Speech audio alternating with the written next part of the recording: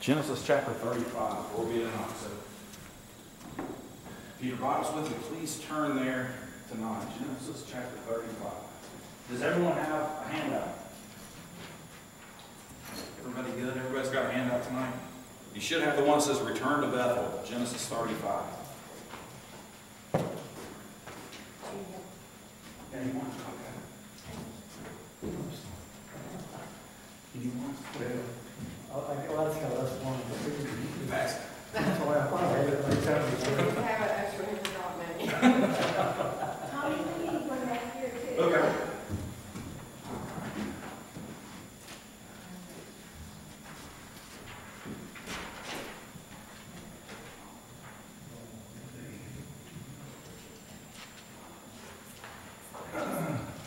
Genesis chapter 35. So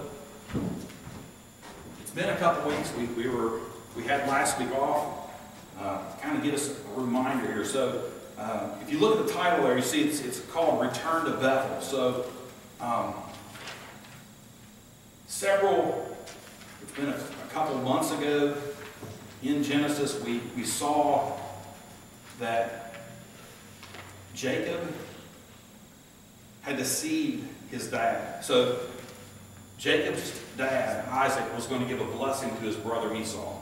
And through the help of his mother, uh, Jacob was actually the one use, using deception because his dad was blind at the time, used deception and deceived his dad, received the blessing, and then departed because when his brother came back, his brother was furious. Esau was furious. He threatened to, to kill Jacob because of this. Uh, his parents were, were fearful of what would happen to Jacob, so they, they sent Jacob off. And as Jacob left, Jacob had a meeting with God in Bethel. So Jacob has not been back to Bethel since that meeting, since that one meeting he had with God, which was uh, the story of the, the, the, ladder to heaven, or the stairway to heaven, where the angels were going up and down, and the Lord spoke to him and made many promises to Jacob.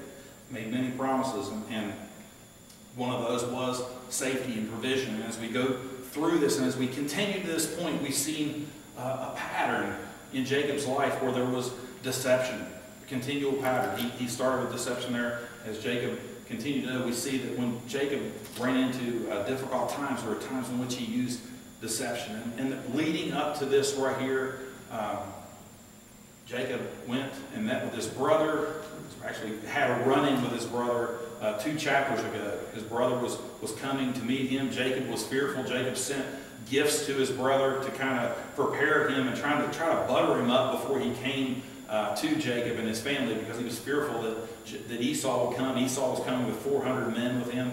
Uh, he was afraid that Esau would come and slaughter him, even though God had promised him protection. Esau or Jacob was still scared of his brother. When his brother came, his brother hugged him, he kissed him, he they wept together. He uh, showed that he loved his brother.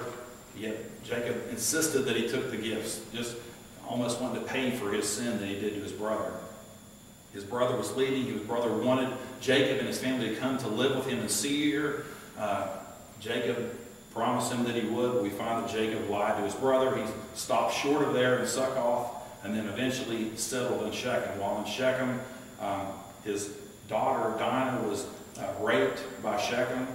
Uh, deception occurred again, this time with his uh, sons. His sons, uh, Simeon and Levi, are the, the main ones that do this, but the rest of his brothers were in, in on it as well. They uh, lied to the men of Shechem, uh, told them that because the men of she Shechem wanted to marry Dinah, and they basically him and his, his dad met with uh, Jacob and his his sons, and basically said they wanted to have a, a, a merger, wanted to come together as one people, wanted to give their wives or their women to, to them to have wives, and for Jacob and his family to give their women to them to marry, and kind of come together in one one tribe there, and the, and the men and, and the brothers there, or Jacob's sons, told them that they weren't, they couldn't give their daughter to him unless he was be, unless they all be circumcised.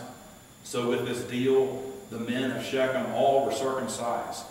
Three days later, when they were sore, Simeon and Levi went through and they slaughtered all the men of Shechem.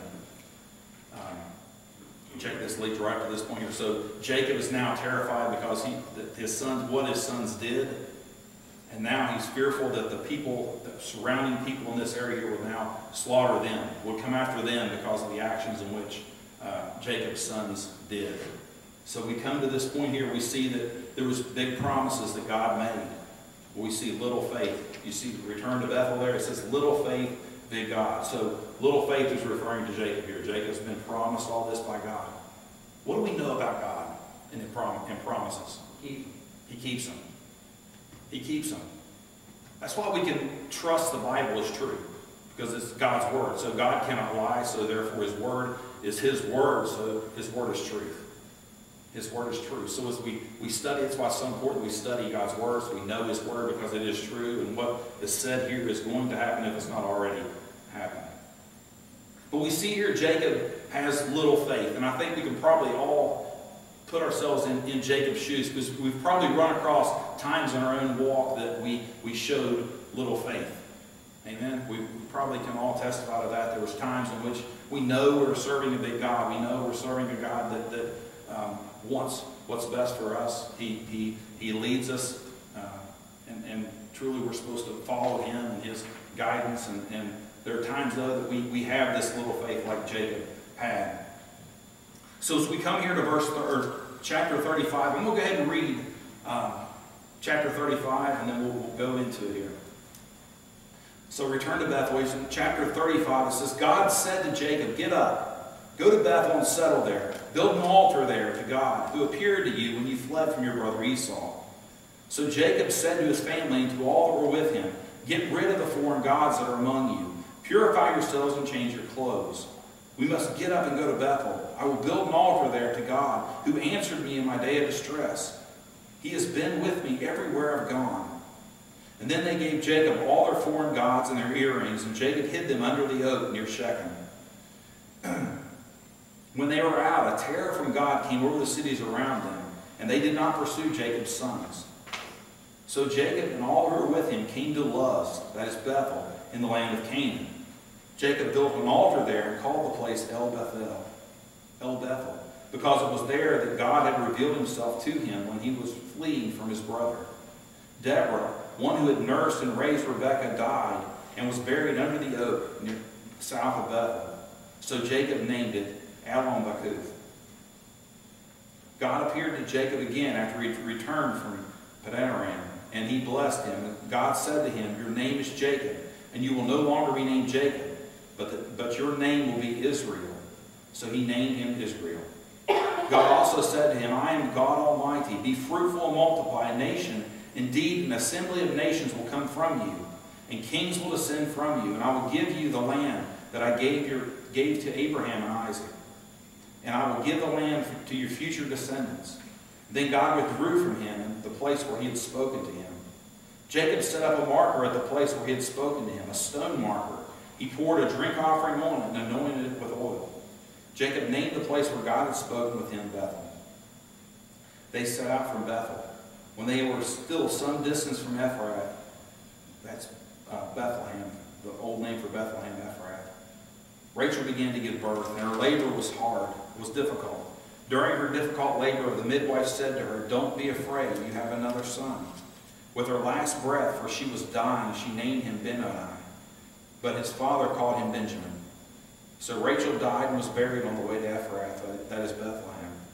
Jacob set up a marker on her grave. It is the marker at Rachel's grave still today. Israel set out again and pitched his tent beyond the Tower of Eder. While Israel was living in that region, Reuben went in and slept with his father's concubine, Bilhah, and Israel heard about it. Jacob had twelve sons. Leah's sons were Reuben, Jacob's firstborn, Simeon, Levi, Judah, Issachar, and Zebulun. Rachel's sons were Joseph and Benjamin. The sons of Rachel's slave Bilhah were Dan and Naphtali. The sons of Leah's slave Zilpah were Gad and Asher. These are the sons of Jacob who were born to him. Jacob came to his father Isaac at Mount at Mamre in Kiriath Arba, that is Hebron, where Abraham and Isaac had stayed.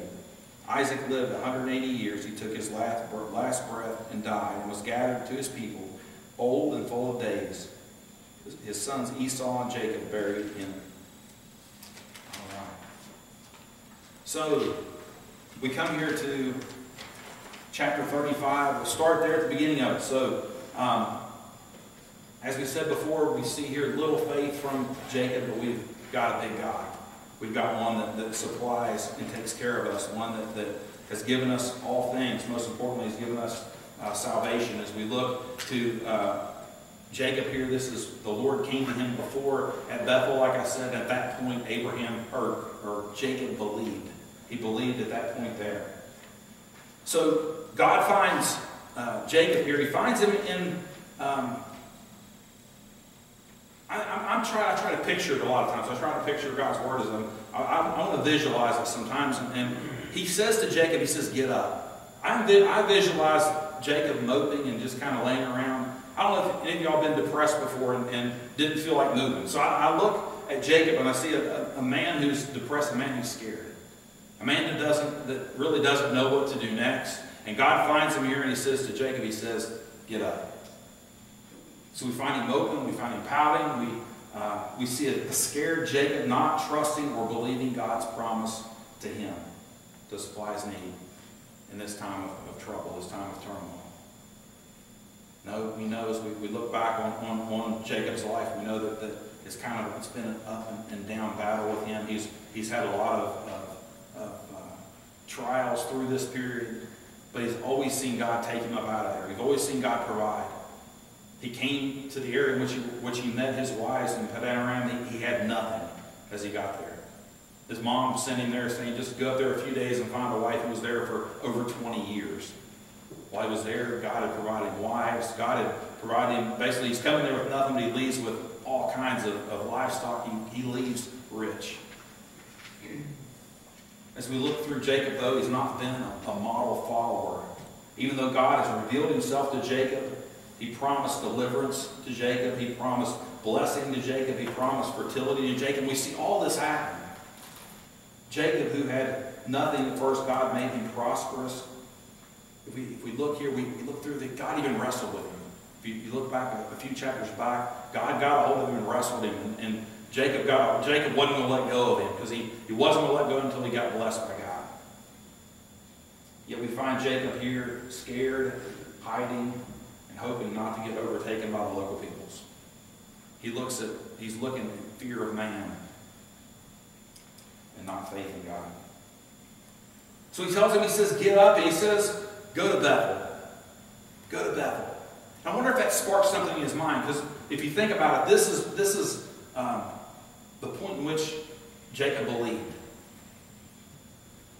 And I believe if, if you're a Christian, you, you believe. I, I remember where I was at when I was saved. You, I, I remember when, where the Lord uh, delivered me, where the Lord revealed himself to me, where I believed and, and trusted him at the first time. And, and it's a moment that I will not forget. So when he, he says to him to go to Bethel, I believe he's probably thinking, man, wow, I get to go back to the place in which I believed, the place in which I, I knew that God and knew God for who he was, for who he is.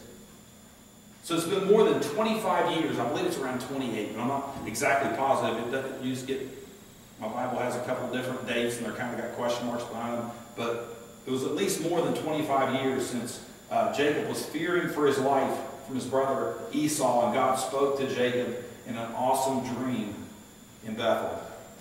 In that dream, uh, Jacob saw a stairway from earth to heaven, and he saw angels going up and down. Uh, there, God promised Jacob the land. He promised him the land there. He promised him uh, offspring that was like the sand of the sea, that, that innumerable offspring. He promised him blessing on all people through him and his offspring. There would be blessings from, from him and also through his offspring. And he told Jacob, he said, I'm with you. I will never leave you, and I will bring you back. I will bring you back to this land. And this opened Jacob's eyes, and he believed. And like I said earlier, God always keeps his promises. That's one thing you can always uh, trust and always know that God will keep his promises. But he tells him to get up. He tells him to go to Bethel. He tells him to build an altar. He gives him three commands here. God gives him three commands here. Get up, go to Bethel, build an altar. So the last time that Jacob was there, he made a, a pillow stone a marker of the event. So the, the stone which he laid his head on that night was what he used to mark the event of his belief, of his conversion.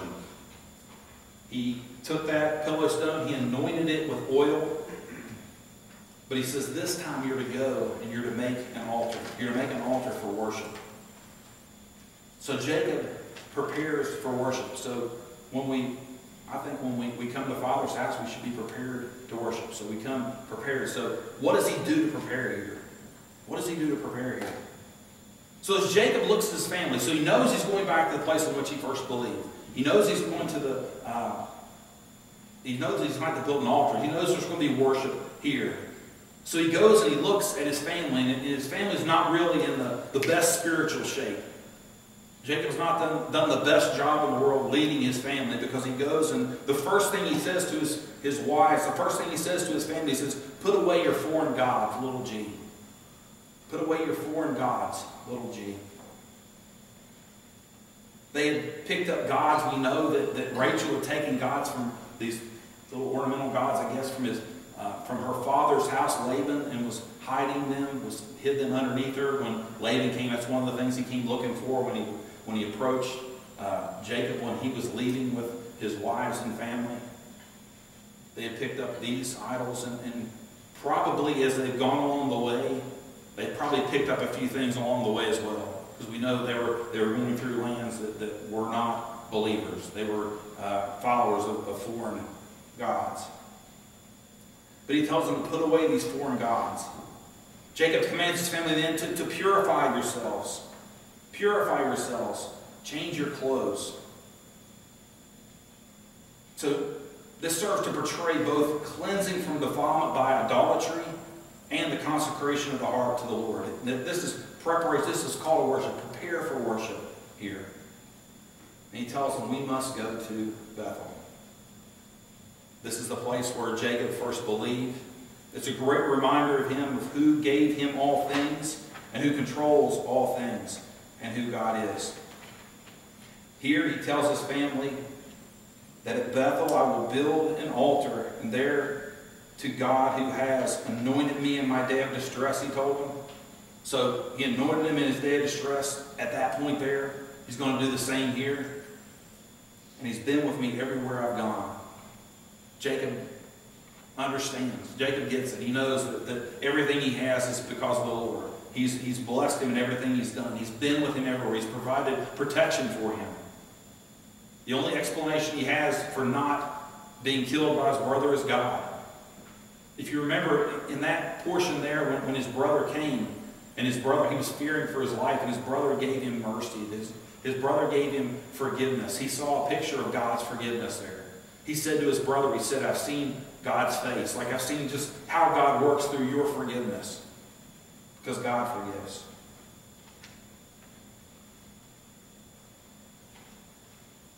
The response. The response of family, Jacob, and God. We're going to see the, the response of all of these here. So the family had been given commands. The family was given commands to turn over their gods, little g, to turn over their gods, little g, and their earrings. And they did so. They, they turned them all over. They, they, they gave them to the patriarch. They gave them to Jacob. They gave them to, uh, later on, or he's told him before, he's telling him again, he reiterates with him, with, with Jacob that his name is Israel. So he gave, them, they gave them to him. And Jacob, his response to this, he took the gods and the earrings, and says, and hid it under the oak tree in Shechem. And from my studies, this, this, they think this may be the same oak tree that Abraham uh, spoke of earlier in Genesis. And they prepared themselves for that, that they leave for Bethel. They're preparing themselves for that. God protected Israel by setting terror over the city so they would not follow after them. So uh, the thing which uh, Jacob worried about was the locals seeing this. The locals, uh, maybe out of fear of what they that may might deceive them and try to do the same thing to them, or uh, just retaliation as to what Jacob's family did to Shechem. But God makes sure there was terror over them. They're, they're afraid to act upon this. So they did, they left him alone and let him travel. So now we're going to look at obedient worship. Obedient worship. So they arrive in Bethel. So as they arrive in Bethel, Jacob builds an altar there to God. And he calls it the God of Bethel, El Bethel. He calls the place El Bethel because it was the place God revealed himself to Jacob when he was fleeing Esau. Jacob here is reconfirming his allegiance to God. It tells us during this time that, that Deborah, this is Jacob's mother's nurse and nanny here, she, she dies here and is buried under the oak tree south of Bethel. And Jacob named the place Alon Bakuth, which means the oak of weeping, is what, what that means, the oak of weeping. And then God appears to Jacob again. So God appears to Jacob here, and uh, God here, as he um, appears to Jacob, he, he reiterates. So God reiterates his promises to Jacob. You may wonder, how many times does God have to do this? How many times does God have to tell him that these are my promises? This is what I was, I'm going to do, Jacob. This is not something you have to worry about anymore. Trust me. So God's told him, he said, God blessed Jacob. God told him that you're no longer Jacob, but Israel. Remember when he, when he, when he wrestled with God, that's what he was told. His name was Israel. Israel, no longer Jacob. He told him, I am the God, I am God Almighty. He told him to be fruitful and multiply. We, we see that. We saw that, that God just blessed him in this regard. He says, You'll be an assembly of nations will come from you. Kings will descend from you. I will give you the land promised to Abraham and Isaac. I will give you the land of your future descendants. And it says God withdrew himself from him. So Jacob responds to this. So how does Jacob respond to this?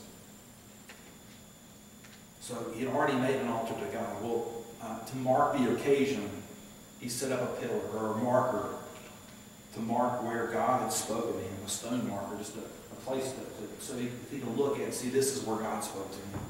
And this is, I remember just what God said to me at this spot. And it said that he poured up a drink offering on it. And when I, I looked up drink offering, it said that uh, it was about a third gallon of wine that would be taken, it would, it would pour on this. And this was to, to consecrate it for the worship of God. It says they then anointed it with oil just as he did before. And again, he reiterated the name of the place is Bethel. The name of the place is Bethel. So then we find out that he lives happily ever, happily ever after, right? And never had issues again, right? Have you ever heard someone say that being a Christian is easy? I've, I've heard people say it. I've heard people say it. I'm thinking, there's no way. Being a Christian is not easy. It's not easy uh, being a Christian. There's going to be sorrows just like everyone else has. Just because we're believers does not mean we don't go through sorrows. But it does mean one thing. We understand one thing about true faith. True faith always perseveres. True faith always perseveres. Now, Jesus told us, if we turn to Matthew chapter 7, this is what happens with true faith. So, one thing I, I, I can, I can probably promise you, you're going to go through issues. You're going to have trou- troubles. You're going to have trials. You're going to have sorrows, just like Jacob's going through here. So, Matthew chapter 7, verse 24. This is that, that true faith that perseveres I'm talking about. So therefore everyone who hears these words of mine and acts on them will be like a wise man who built his house on a rock. The rain fell, the rivers rose, the winds blew and pounded that house. Yet it didn't collapse because its foundation was on the rock. The reason true faith does persevere, the reason true faith doesn't collapse is because it's not built upon uh, a situation, it's not built upon a circumstance, not built on, on a feeling but yet it's built on a rock. Our faith is, is built on God. It's built on Jesus Christ. And storms are a part of life. Sorrows are a part of life. I can testify that, that through these storms and through these sorrows and through these trials, growth happens. Growth happens. We see that, that through this, uh, Jacob was scared And we- and we've seen several times before that Jacob went through different things and God brought him through. And we see growth each time. And the same thing will happen with us. But he'd gone through troubles. God had went and spoke to him and, and brought him through that. And then we see again he- there's sorrows that come. First, he, he, he first love lost is the first one. First love lost. Rachel was his first love. Rachel was the one he wanted to marry. Rachel wasn't looking to marry Leah. He was deceived into marrying her. But he loved Rachel. If he could pick a wife to lose, it wouldn't be Rachel. He loved her. He, this is the one he, he, he just adored her. We see that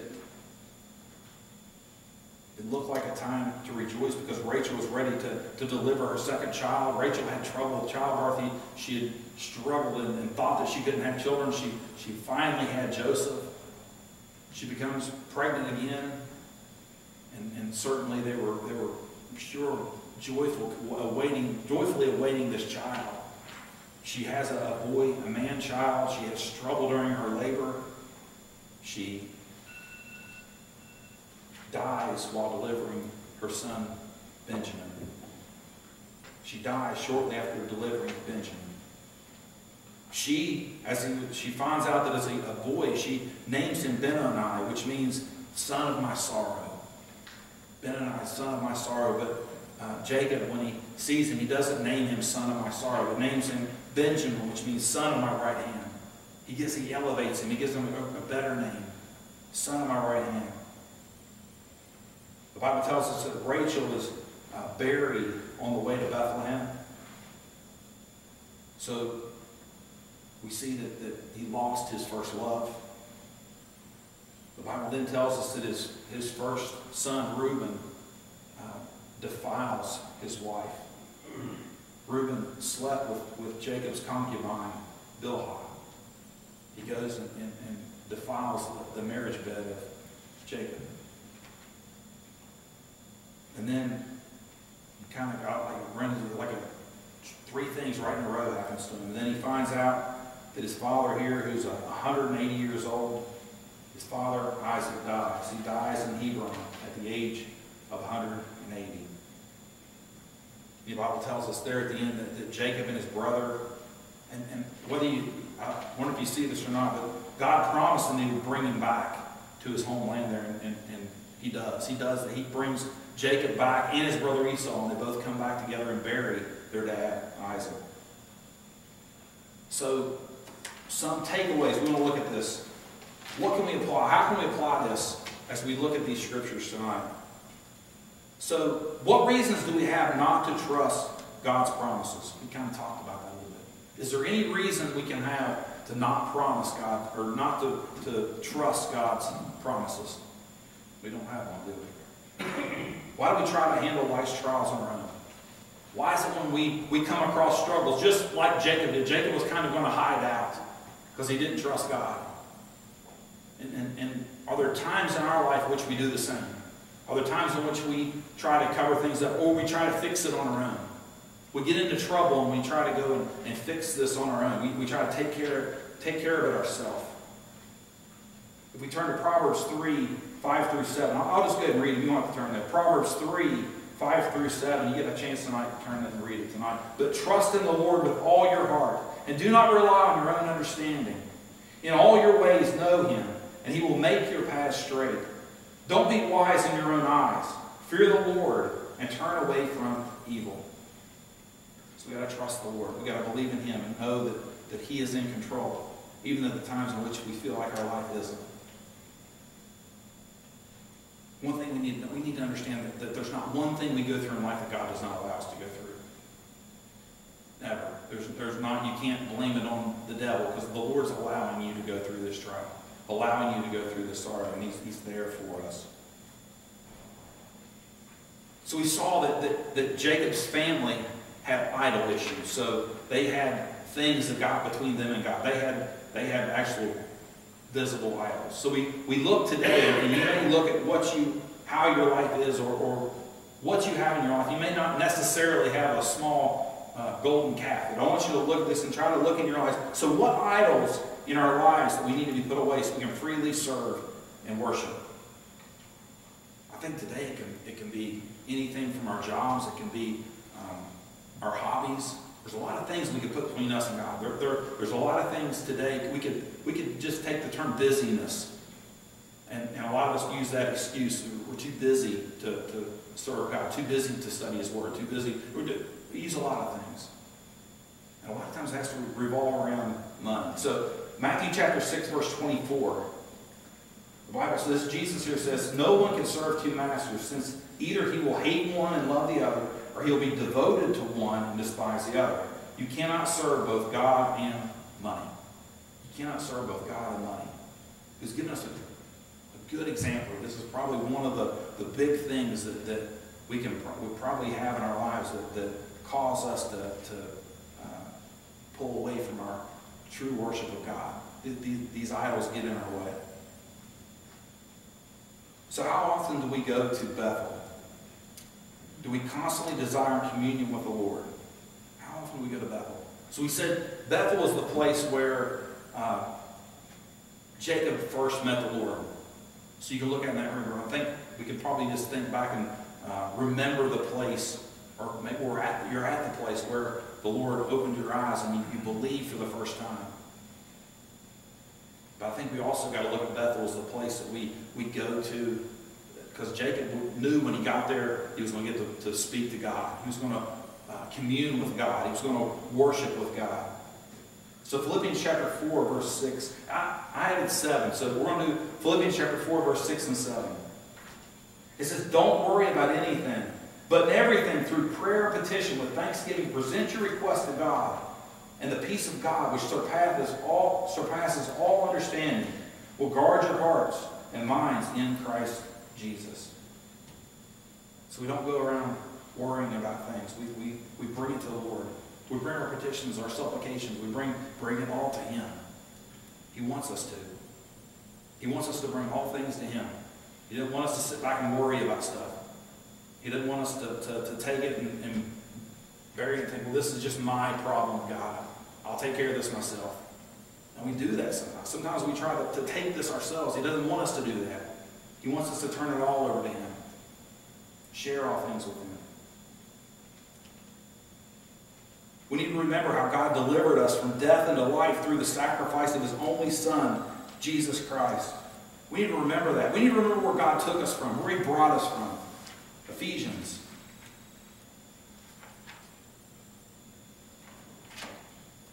Ephesians chapter 2. It says, Unto you were dead in your trespasses and sin. So before we were saved, we we're dead in our trespasses and sins, in which you previously lived according to the ways of this world, according to the rulers of the power of the air. And the Spirit now works in the, working in the disobedient. We too all previously lived among them in our fleshly desires, just like the world. We lived just like the world, carrying out the inclinations of our flesh and thoughts, and were by nature children under wrath, as others were also. It says, But God, who is rich in mercy because of his great love that he loved us, made us alive with Christ, even though we were dead in trespasses. You are saved by grace. He also raised us up up with him and seated us with him in the heavens in Christ Jesus, so that in the coming ages he might display the immeasurable riches of his grace through his kindness unto us in Christ Jesus. For you are saved by grace through faith, and is not of yourselves, it is the gift of God, not from works, so that one can boast, so that no one can boast. For we are his workmanship, created in Christ Jesus for good works, which God prepared ahead of time for us to do. So we need to, remember that. We need to remember um, the desperate situation we are in. And, and, and in doing so, I think we'll have greater appreciation to Him. I think, I think, I think in our worship we'll be a little more broken as we look uh, where He brought us from. And I think also in our, our witness, we'll be a little more humble and we'll, we'll uh, not look at others around us as less than us. We'll, we'll want to share the gospel with more people because we'll know that where God brought us from. And if God can bring me from here, He can bring you from there as well. I'm not referring to you in general. I'm talking about the, the world in which we share the gospel. those that we pray for, the lost that are out there. Just remember how God brought us from death unto life, and He can do the same for them. And the final question here says, um, so as long as we live here on earth, there are going to be times of loss. There are going to be times of trials. Man is going to disappoint us. So um, I know we, we, we've got a lot of trust, people we trust here, but man will let us down. If we put our trust in, in a person, that person will let us down, will hurt us. And things won't go how we want them to. to. It's, we, a lot of times we, we make a, a plan. And those of us that are planning to retire, we, we put money aside to plan. We got this big long plan, and I plan to retire on, um, on the, third, the third week of June in 2026, whatever it may be. We make these big plans that, that sometimes won't happen that way. So as we, we look at this and we have these trials, we have these troubles, we have these uh, tribulations, we have these illnesses, we have these things that come upon us. So uh, these are the times to trust in the Lord and His provision. So flip over to Romans. We're going to close with this last verse here. Uh, Romans chapter 5, verse 1 through 5. It says, Therefore, since we have, we have been declared righteous by faith, we have peace with God through our Lord Jesus Christ. We have also obtained access through him by faith into this grace in which we stand, and we rejoice in the hope of the glory of God. And not only that, but we also rejoice in our afflictions, because we know that affliction produces endurance, and endurance improve, produces proven character, and proven character produces hope. This hope will not disappoint us because God's love has been poured out in our hearts through the Holy Spirit who was given to us. I like that because it tells us that this affliction we go through, this trouble we go through, this trial we go through produces endurance, produces you you you grow through these. And we grow closer to the Lord. And our hope no longer is not hope upon the, cir- the circumstance. Our hope is no longer on um, retirement. Our hope is no longer on a relationship. Our hope is no longer on uh, a retirement destination, maybe. But our hope is in Christ Jesus. Hope is in Christ Jesus. And he tells us this and shows us this love through the Holy Spirit which he gave us. Let's pray. Father, we thank you so much for this day. We thank you, Father, for your word. We pray that you, you, you help us, Lord, in times in which we uh, have little faith. We pray you just help us, Lord, to have the, the faith we need just to trust you, Lord, in the difficult times, Lord. Help us, Lord, to always just turn it over to you. Put it in your hands, Lord, if we know that uh, you're always in control. Help us, Lord, to, to see the, the big picture at times. Help us, Lord, to understand that this world is not our home. We're, we're just uh, pilgrims here for a short period of time, that, that life is just but a vapor here for a little while and goeth away. But we pray that you help us to keep things in perspective, Lord, to love you, cherish you, to share you, Lord, with our lost and dying world, Father. Let's not get any better. We just pray now as we leave this place, Father, you just uh, give us the, the desires of your heart and to live for you. Father, if we love you, we praise you, we thank you in Jesus' name. Amen.